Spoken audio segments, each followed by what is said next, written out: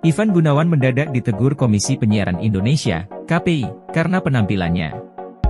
Ia mendapatkan teguran langsung dari KPI karena penampilannya yang disebut menyerupai perempuan saat membawakan salah satu acara di stasiun televisi pada 30 Oktober 2023 lalu. Ivan Gunawan dianggap telah melanggar norma dan etika yang berlaku dalam masyarakat. Menurut Ivan Gunawan saat itu ia hanya diminta untuk berpakaian seperti di era tahun 60-an. Nampak dalam postingan Ivan Gunawan saat dirinya tampil membawakan acara brownies di Trans TV ia terlihat memakai pakaian serba hitam. Pria yang akrab disapa Igun ini tampil dengan jaket sekuing dengan bulu di bagian bahunya.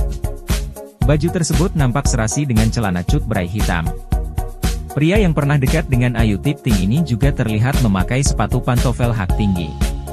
Ivan Gunawan juga itu memberikan penjelasan soal gayanya di acara Brownies pada 30 Oktober 2023 lalu. Namun Ivan Gunawan tak terima jika diirnya ditegur karena fashion yang dikenakannya dianggap seperti perempuan.